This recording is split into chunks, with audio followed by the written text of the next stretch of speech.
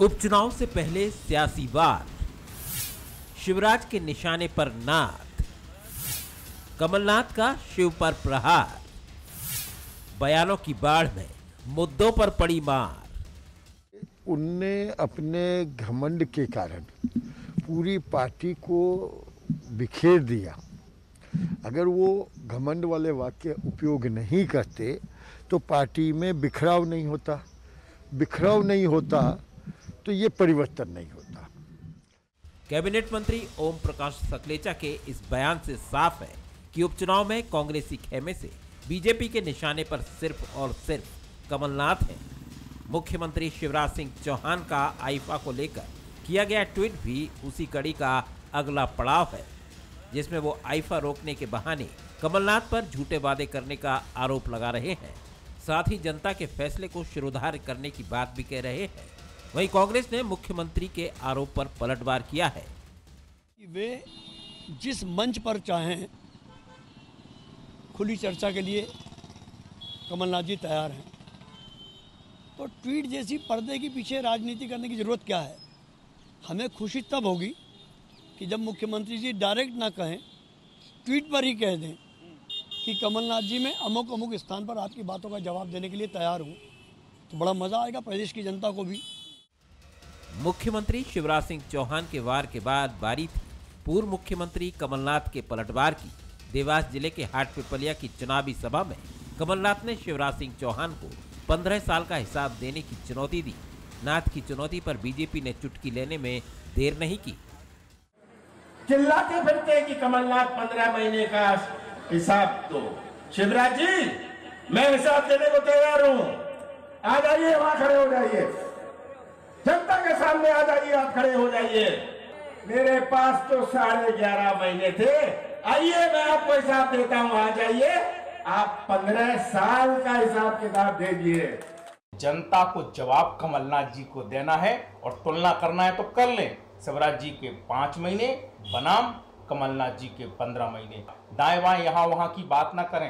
पंद्रह पच्चीस साल की बात ना करें। बात करें अभी पंद्रह महीने की। जो पंद्रह महीने लगातार सरकार में कमलनाथ जी रहे हैं, वचन पत्र पाँच दिन, सौ दिन, दस दिन का वादा जो कर रहे थे, उस पर जवाब देना होगा। दिग्गज नेताओं की बयानबाजी से चुनावी माहौल बनने लगा है। कांग्रेस, बीजेपी दोनों राजनीतिक लड़ाई के साथ ही बयानों के बाउंसर एक दूसरे पर फेंक रहे हैं। कई बार इस बयानबाजी में मुद्दे हवा होते नज़र आते हैं, लेकिन बयानों के ज़रिए सियासत फुल ऑन नज़र आती है।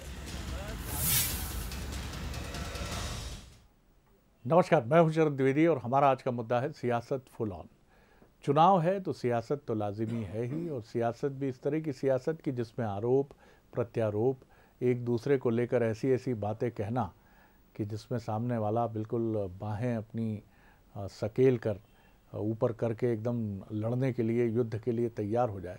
और कुछ उसी तरह का मध्य प्रदेश में इन दिनों हम परिवेश देख रहे हैं, वातावरण देख रहे हैं।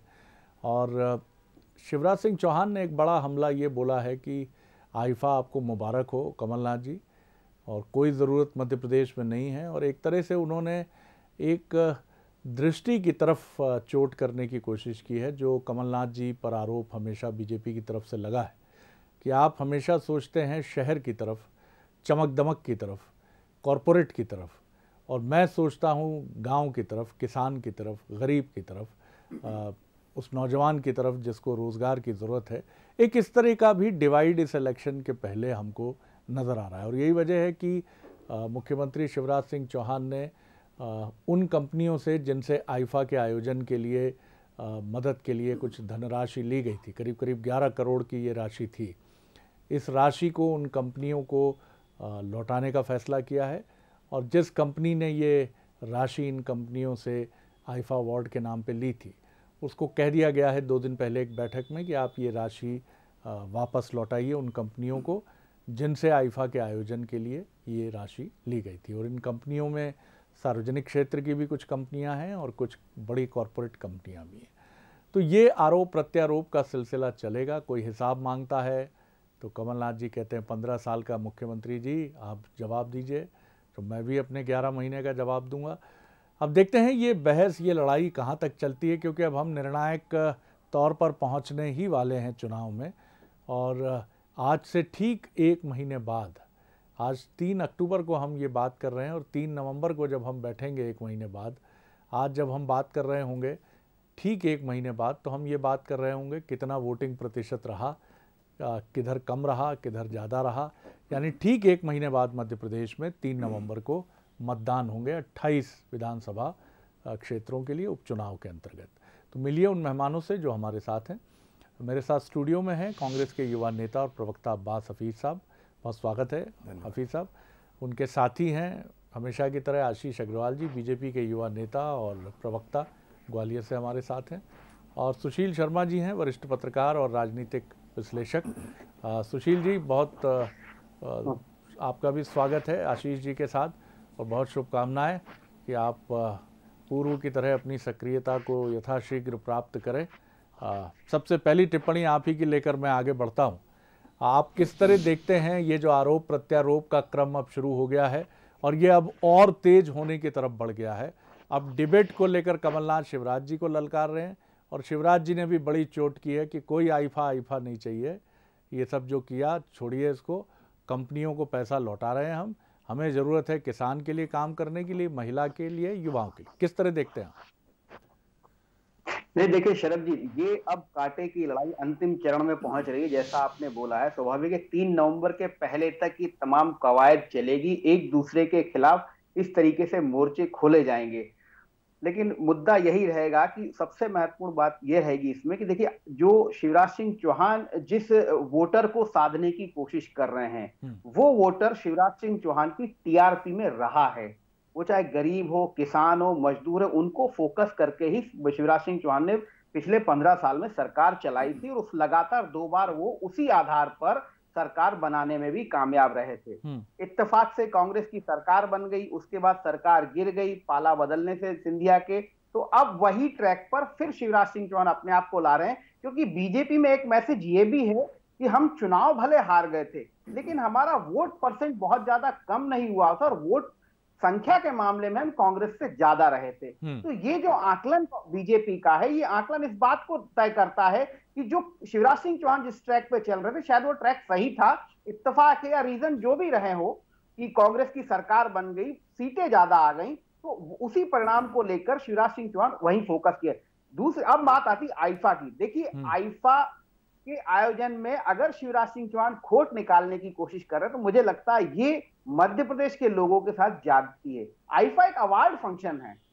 हम चाहते हैं हम चाहते हैं फ़िल्म सिटी यहाँ बन जाए, हम साथ चाहते हैं कि टेलीविज़न टेलीविज़न इंडस्ट्री यहाँ पर आ जाए तो उसी का तो एक पार्ट है आईफा। आईफा में जब सारे पूरे बॉलीवुड के कलाकार आएँगे डायरेक्टर्स आएँगे, सब आएँगे तो स्वाभाविक है मध्य प्रदेश को ब्रांडिंग का मौका मिलेगा। शिवराज सिंह चौहान भी ब्रांडिंग करते, उनका ब्रांडिंग करने का तरीका अलग था, लेकिन कमलनाथ का तरीका अलग है। लेकिन आप आईफा को इस नज़र से देखेंगे कि ये नाचने गाने वाला ये नहीं चलेगा। मुझे लगता है ये मध्य प्रदेश के लोगों के साथ जागती है। अब्बास हफीज साहब जिस तरह से ये लड़ाई आगे बढ़ रही है आ, जिसको आप कहते हैं कि एक शब्द अंग्रेज़ी में होता है बिलो द बेल्ट उस तरफ़ ना बढ़े तो बहुत अच्छा है। लेकिन लड़ाई जिस तरह से आगे बढ़ रही है और जिस तरह से चुनौतियाँ दी जा रही हैं और राजनीति में हमने देखा है कि वो मौका भी बहुत ज़्यादा वक्त नहीं लेता कि जब सारी चीज़ें बिलो द बेल्ट भी आने लगती हैं। कमलनाथ जी और शिवराज जी संयम से काम लेने वाले राजनेता हैं। लेकिन लड़ाई तीखी और धारदार तो हो रही है, अभी मैं ये तो बेहचक कह सकता हूँ। जी। देखिए शरद जी, सबसे पहले तो यह अकाउंटेबिलिटी की बात होनी चाहिए कि आपने सरकार किस वक्त गिराई, कैसे समय पर गिराई और उसके बाद आपने क्या किया जिससे प्रदेश को आप कोरोना से बचा सकते थे या दूसरी जितनी भी चीज़ें हैं, बेरोज़गारी हो, बहुत सारी चीज़ें हैं, बहुत लोगों की ज़िंदियाँ उलट पुलट हुई हैं इन सारी चीज़ों से। उन सारी चीज़ों की अकाउंटेबिलिटी से बचने के लिए सबसे अच्छी चीज़ है कि पूर्वती सरकार जिसके पास ग्यारह बारह महीने का समय था, अगर देखा जाए फ़िल्टर करके समय तो उसके ऊपर आरोप लगाने लगो। ये कहा जाने लगा कि भाई पिछली पंद्रह महीने की सरकार ने पूरे प्रदेश को नुकसान पहुँचाया, अपने पंद्रह साल की सरकार का जवाब नहीं देना है। बात कर रहे हैं कि हमारे छः महीने की देख ली तो छः महीने में भी क्या किया है? सिवाय ट्रांसफ़र महाउद्योग के, जब से शुरू हुई आज तक सूचियों पर सूचियाँ आ रही हैं। कभी इसका ट्रांसफ़र हो जाता है, यहाँ तक कि अब तो एक मृतक का ट्रांसफ़र कर दिया गया, ये तो मतलब इंतहाएँ पार हो चुकी हैं। ये सारी चीज़ें हैं। और सिर्फ़ और सिर्फ़ स्कोरिंग के ऊपर देखा जा रहा है कि मैं कैसे सिक्सर मार दूँ, मैं कैसे चौका मार दूँ। शिवराज जी कह रहे हैं कि आईफा के वापस कर देंगे, बहुत अच्छी बात कही। हमारे साथी शर्मा जी ने बहुत ही उसको अच्छे से समझाया। मेरे मन में भी यही था कि आप अपने व्यक्तिगत लड़ाई को प्रदेश के नुकसान के अंदर के बदलना चाहते हैं तो बदल दीजिए। कमलनाथ जी वो मुख्यमंत्री रहे, जिनको आईफा नहीं पता था। वो खुद कहते थे, मैं समझता पहले को कोई फुटबॉल वगैरह, फीफा जैसा कुछ होगा। जब उनको पता चला तो उन्होंने कहा कि अच्छे रोज़गार इससे मिल सकते हैं टूरिज़्म का बढ़ावा मिल सकता है, ब्रांडिंग होती है प्रदेश की प्रदेश की सोची। जब आएगा तो छोटे छोटे रोज़गार उत्पन्न करेगा, ट्रांसपोर्ट के हैं ट्रैवलिंग के हैं होटल इंडस्ट्री के हैं बहुत सारी चीज़ें हैं इसलिए किया गया था। लेकिन अपने सिर्फ़ इस बात के लिए कि हम नहीं लाए थे ये लेकर आए थे ये इनकी का, इनका काम है इनका कारनामा है तो इसको हटा दिया जाए। तो ये प्रदेश को नुकसान आप पहुँचा रहे हो अपने व्यक्तिगत चीज़ों को लेके जो बहुत ही गलत है। आप तो रोज़गार देने के अंदर असफल रहे। आज कमलनाथ जी ने बहुत अच्छी बात कही कि आ जाइए सामने सा, आमने सामने। ये सारी बातें जो हैं वार और ये क्रिया प्रतिक्रिया ये सारी चीज़ों से बेहतर है। शरद जी कि आमने सामने आकर बात कर करने मुझे आज भी याद है, दिग्विजय सिंह जी पे आरोप लगाते थे शिवराज जी। उन्होंने भी बार बार कहा था कि मेरे कार्यकाल और आपके कार्यकाल पे मैं ओपन डिबेट करने को तैयार हूँ। वो तो आज तक हुआ नहीं। अब कमलनाथ जी ने कहा है, आमने सामने जनता के खड़े हुई देखिए यूएस प्रेसिडेंशियल इलेक्शन से पहले कितनी अच्छी डिबेट होती है, बहस होती है, लोग अपनी बात रखते हैं, सामने वाले सवाल पूछते हैं, एक दूसरे के सवालों का जवाब देते हैं। जनता फिर तय करती है, कौन है यहाँ? तो ये सामना करने को तैयार नहीं है। देते रहे, भाषण बाहर से मंचों से और अपनी बातें कहते रहें, जो सदन में अलग बात कहते हैं बाहर अलग बात कहते हैं नुकसान जनता का होता है। और जनता के नुकसान को आप अपने व्यक्तिगत फ़ायदे के लिए अगर देखेंगे तो फिर जनता न्याय करेगी। क्या कहेंगे आशीष जी खुली बहस की चुनौती को स्वीकार कर लेने की बात भी कांग्रेस कह रही है। और बहस तो होती ही रहती है राजनीति में। आ, सिर्फ़ यही है कि अमेरिका की तरह एक ही मंच पर आमने सामने बहस नहीं होती है। आइफा को लेकर भी नज़रिए सामने आए हैं। सुशील जी का भी नज़रिया सामने आया है और अब्बास हफीज़ साहब तो आइफा के साथ खड़े ही हैं और खड़े रहेंगे ही आ, क्योंकि ये उनके नेता का निर्णय रहा उनकी सरकार का निर्णय रहा जो सत्ता में थी। आप किस तरह देखते हैं इन तमाम मसलों को और क्या कहेंगे ख़ासतौर से चैलेंज स्वीकारने को लेकर? हम्म, जी। हम्म। जी। देखिए शरद जी सबसे पहले तो बड़ा ही मुझे आनंद आता है कि जब राजनीति अकाउंटेबिलिटी की तरफ़ बढ़ती है जब हम्म।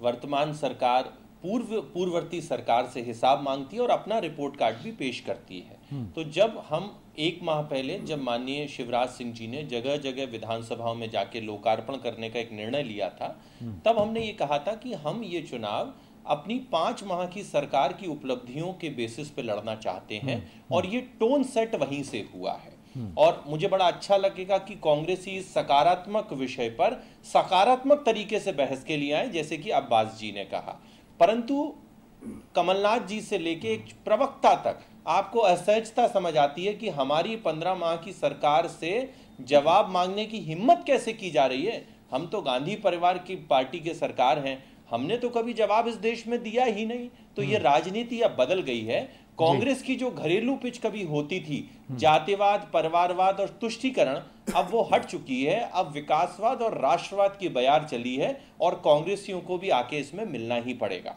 दूसरा विषय, देखिए, आपने फूल सिंह बरैया जी का भी वो वीडियो देखा होगा। कांग्रेसी कह रहे हैं कि हमने लाए, हम कह रहे हैं कांग्रेस ही लाए।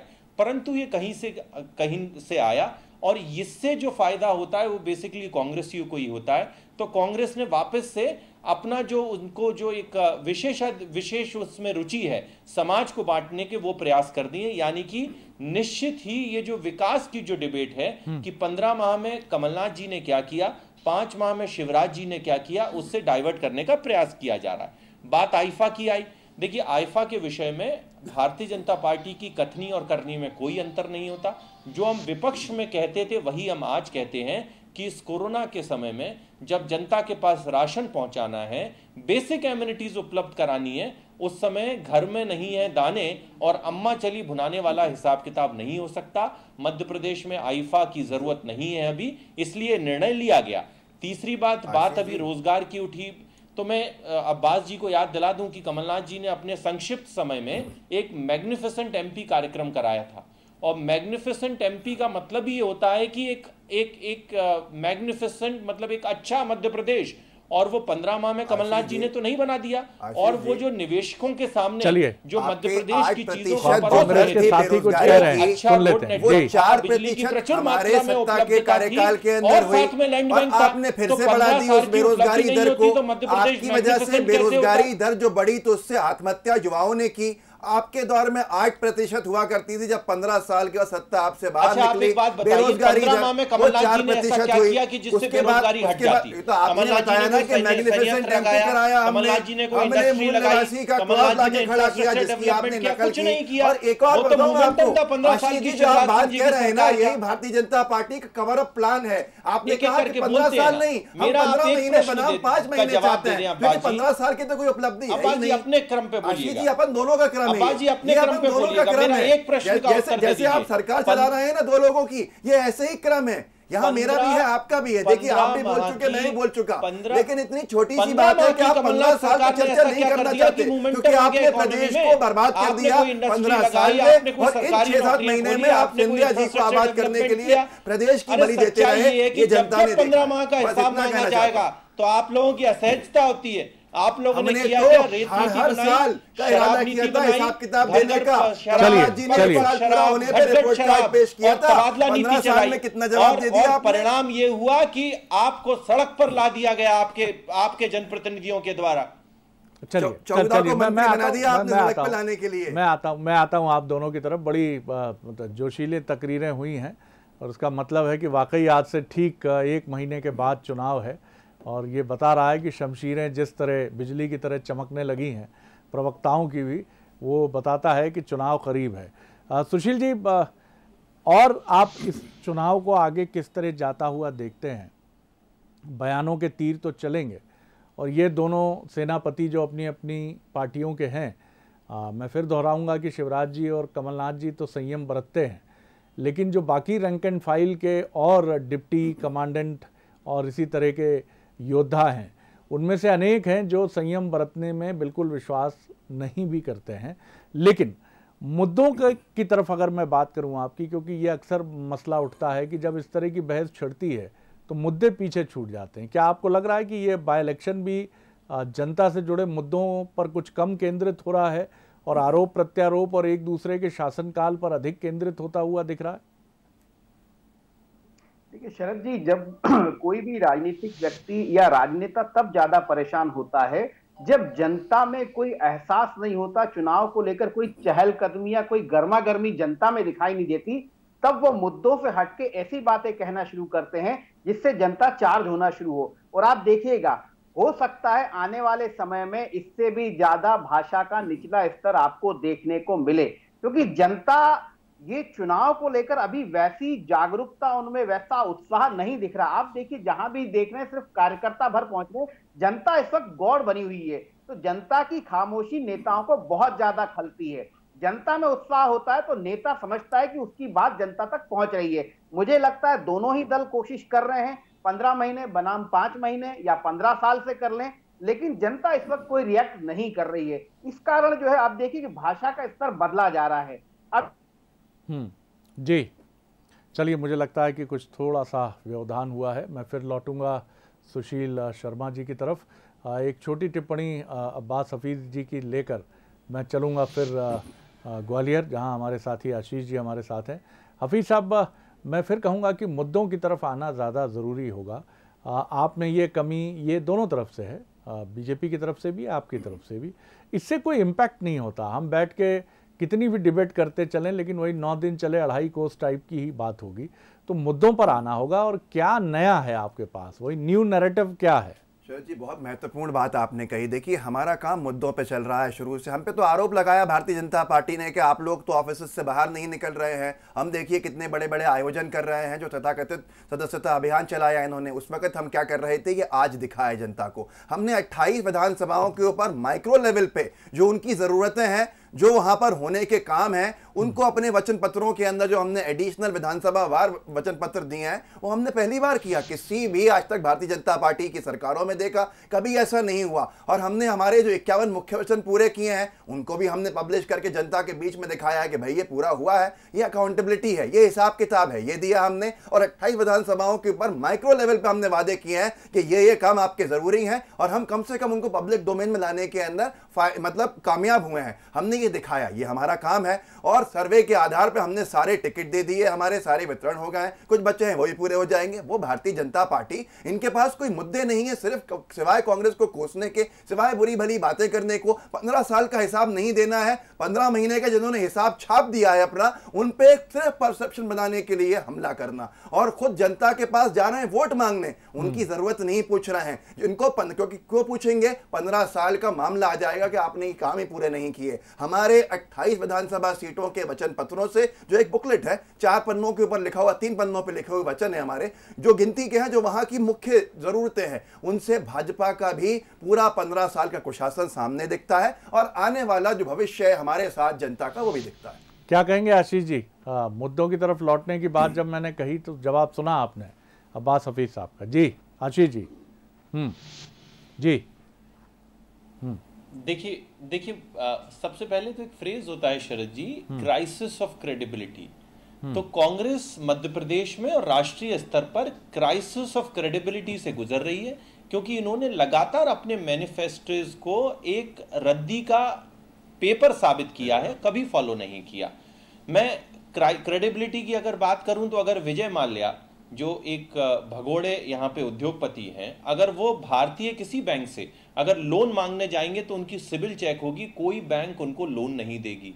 इसी तरीके से पंद्रह माह चली कमलनाथ सरकार, जो दिग्विजय सिंह जी के साथ एक जो कॉयलेशन में चल रही थी, उस पर मध्य प्रदेश की जनता विश्वास ही नहीं कर सकती। अरे ये दोबारा से जो एक वचन पत्र ला रहे हैं पहले ये तो बताएँ कि पिछले वचन पत्र का क्या हुआ? मैं पूरे गिनाऊँगा कर्ज अपने वादे गिनाएँगे। दस दिन में कर्ज दो लाख तक का नहीं हुआ। मेरे पास चार चार चार हज़ार चार चार हज़ार अरे रुक जाइए ना रुक जाइए ना। मैं अपने चार हज़ार बेरोजगारों को भत्ता नहीं मिला संबल योजना बंद कर दी दीनदयाल रसोई योजना बंद कर दी। एक बात। एक बात और पंद्रह साल की? जरा बात पूरी हो जाए मैं देता हूँ। मौका आपको। दो हज़ार तीन में शरद जी जी। दो हज़ार तीन में सुनिए दो हज़ार तीन में शरद जी एक नारा चलता था कि चारों ओर अंधेरा है और चौकीदार लुटेरा है। मध्य प्रदेश की सड़क की सीमा जैसे प्रारंभ हो जाती थी सड़कें समाप्त हो जाती थी। बिजली घर लोग इसलिए जाते थे पूछने कि बिजली कब आएगी? अब उल्टा होता है ये जानना चाहते हैं कि बिजली कब जाएगी। तो मध्य प्रदेश में पंद्रह साल में जो सिंचित रकबा कभी सात लाख करोड़ था वो चालीस लाख हेक्टेयर हुआ। सात लाख हेक्टेयर था। उसके बाद जो कभी मध्य प्रदेश का बजट बीस हज़ार करोड़ होता था वो दो लाख करोड़ हुआ। मध्य प्रदेश की थोड़ा संक्षिप्त कर लीजिए। पाँच गुना बढ़ी। मध्य प्रदेश की जीडीपी को जिस तरह से भारतीय जनता पार्टी ने बढ़ाया तो पंद्रह साल की उपलब्धियों पे कांग्रेसी जब चाहे बहस के लिए आमंत्रित हैं। दूसरी बात ये प्रेसिडेंशियल फॉर्म ऑफ़ डेमोक्रेसी नहीं है। हमने तो बहस तो छेड़ ही। दी है। अब ये आए आंकड़ों सहित और हमारे बातों का जवाब दें अपने आप बहस हो जाएगी। सबसे पहले इन्होंने कहा क्रेडिबिलिटी क्राइसिस की बात करी। क्रेडिबिलिटी क्राइसिस किसकी है? जो आज सत्ता के अंदर ये केंद्र में बैठे हैं। दो करोड़ रोज़गार प्रतिवर्ष देने का वादा करके आज छह साल के अंदर बारह करोड़ होने थे चौदह करोड़ नौकरियाँ छीन ली है। ये आपकी गलत नीतियाँ हैं जिसका असर जनता भुगत रही है। मध्य प्रदेश की जीडीपी की बात करते हैं। अरे, पूरे देश का जीडीपी बढ़ा था यूपीए की वजह से। मनमोहन सिंह जी का कार्यकाल था दस सालों के अंदर। जो 600 बिलियन की इकोनॉमी अटल जी छोड़ के गए थे, उसको दो ट्रिलियन की करने का काम किया था मनमोहन सिंह जी ने, जिसको आपने आज बहुत नीचे कर दिया। जीडीपी आज माइनस में चले गई। आप तर्क देते हैं कि दूसरे देशों की नहीं, भी गई है साथ में तो चीन की क्यों बढ़ गई है? हम उनसे कंपेयर करना चाहते हैं अपने आप को, जो तरक्की करते हैं। उनसे कंपेयर नहीं करते, जो नीचे जाते हैं। और नीचे जाने वालों में सबसे नीचे हम हैं। उसके बाद हमारी बात करते हैं। आपने संचित रकबे की बात करी। हमने किसानों को बिजली देने का काम किया आधी कीमत के ऊपर। अरे जिन किसान भाइयों को आप पच्चीस हज़ार रुपए के अंदर मीटर देते थे टेम्पररी हमने उनको पंद्रह हज़ार रुपए में दिया। पंद्रह हज़ार वाले को जो आप देते थे हमने उनको आठ हज़ार रुपए के अंदर दिया। अरे आप हमसे बात करते हैं? हमने सौ रुपये यूनिट पे सौ रुपए सौ यूनिट बिजली देने का काम किया। हमने शुद्ध के लिए युद्ध काम किया। हमने राइट टू वाटर किया। आपके जमाने के अंदर शुद्धता के ऊपर युद्ध खत्म हो गया। ऐसी बहुत सी चीज़ें हैं लेकिन समय इजाज़त नहीं देगा मैं चाहता हूँ कि आप बदन बन आइएगा कभी और और अपने मुख्यमंत्री महोदय से कहिएगा कि वो भी बहस जनता के सामने करें। कमलनाथ जी और शिवराज जी की डिबेट के पहले आप लोगों की डिबेट ज़रूर हम कराते हैं मेरा क्योंकि मुख्यमंत्री तो हमेशा अपना रिपोर्ट कार्ड पेश कर रहा है और आपको नाकोर नाकारा तो साबित करा रहा है। प्रधानमंत्री भी प्रेस कॉन्फ्रेंस में सामने नहीं आ, पाते आप दोनों की डिबेट ज़रूर होगी क्योंकि बड़ी ओजस्वी डिबेट है ये और दोनों युवा मेरे प्रधान मेरे प्रधानमंत्री की लोकप्रियता और मेरे मुख्यमंत्री की लोकप्रियता जिस दिन आपको चेक करानी हो आप खुले में आमंत्रित हैं। जी। आ, सुशील जी मुझे ये बताइए बहुत कम वक्त है तीस चालीस सेकंड में बताइए क्राइसिस ऑफ़ क्रेडिबिलिटी ये जो शब्द यूज़ किया यानी विश्वसनीयता का संकट क्या आपको लगता है कि ये विश्वसनीयता का संकट कांग्रेस की तरफ़ जो बीजेपी का हमला है और बीजेपी का आरोप है कि पिछली कांग्रेस सरकार विश्वसनीयता के संकट से गुजरी क्या ये मसला लोगों के जहन में आ, बनेगा या ये सिर्फ़ बीजेपी का एक शगुफा है? नहीं देखिए विश्वसनीयता का संकट कमलनाथ के लिए जो था वो उनके ही लोगों के बीच में था। हम्म। उनके ही विधायकों के बीच में था जनता के बीच में नहीं था। हम्म। आप चीज़ों को समझिए कि जनता के बीच में नहीं था तब तो 114 सीटें आई। कहीं ना कहीं क्रेडिबिलिटी में कांग्रेस बीजेपी इक्वल खड़े थे ना। अगर सैतालीस हज़ार वोट सिर्फ़ बीजेपी को ज़्यादा मिले तो इसका मतलब है कि दोनों पक्षों को जनता ने बराबर महत्व दिया। दोनों पक्षों के लीडर्स जो चेहरे थे उनको बराबर महत्व दिया। ये बात तो है। लेकिन कमलनाथ को जनता ने नहीं हटाया इस कमलनाथ को हटाया उनकी क्रेडिबिलिटी का संकट उनके विधायकों के बीच में था। हम्म। उन्होंने उनको अपदस्थ किया ये कह के कि हमारे को समय नहीं देते थे हमारी सुनवाई नहीं होती थी। अब ये असली सुनवाई जो है सुप्रीम कोर्ट जिसे कहते हैं जनता उसके बीच जा रही है। वहाँ तय होगा कि क्रेडिबिलिटी का संकट कमलनाथ के लिए था चलिए जल, जल्दी बोल दीजिए आशीष जी बहुत जल्दी कम वक्त है मेरे पास। जी जी हम्म हम्म जी। देखिए देखिए सुशील जी ने कहा कि दोनों बराबर स्तर पर थे इस विधानसभा चुनाव में। Sushil ji anti incumbency factor को भूल रहे हैं। जिस देश में पाँच साल के बाद ये मान लिया जाता है कि सरकारें रिपीट नहीं होगी। पंद्रह साल बाद भी शिवराज जी की अगर लोकप्रियता ज़्यादा है भारतीय जनता पार्टी का मत प्रतिशत ज़्यादा है। चलिए, तो चलिए, पड़ेगा और 230 पर लड़ा कांग्रेस ने भ्रम फैलाया। भ्रम फैलाया दस दिन में कर्ज माफ़ का चार हज़ार का बेरोजगार भत्ता देने का। और इस और मध्य प्रदेश में चंबल में भाई को भाई से हैं लड़ाया। बहुत है? धन्यवाद अब्बास हफीज साहब। धन्यवाद आशीष जी और ये ये धन्यवाद सुशील जी। तो चुनाव बहुत अनकरीब खड़ा हुआ है और हमसे ये कह रहा है कि मध्य प्रदेश की फिजाएँ अब जोशीले राजनीतिक वक्तव्यों से गूंज रही हैं गूंजने लगी हैं और बंसल न्यूज़ का स्टूडियो भी उसका साक्षी बना है। निश्चित तौर पर यह बहस और तेज होगी आने वाले वक्त में लेकिन जनता के दिल को छूने वाली बहस जनता से जुड़े मुद्दों को छूने वाली बहस और जनता को भावनात्मक रूप से प्रभावित करने वाली बहस जिस भी राजनीतिक दल की होगी, वो उसको ज़रूर डिविडेंड देगी, उसको ज़रूर फ़ायदा पहुंचाएगी। तो इतना हमारे माननीय राजनीतिक दल ज़रूर ध्यान रखें। आप सभी का एक बार फिर बहुत शुक्रिया। नमस्कार।